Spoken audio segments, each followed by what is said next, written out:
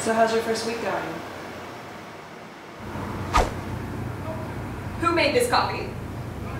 Sorry. Intern. Hey, Craig, I just had a quick question about him. Ask Rob, dude.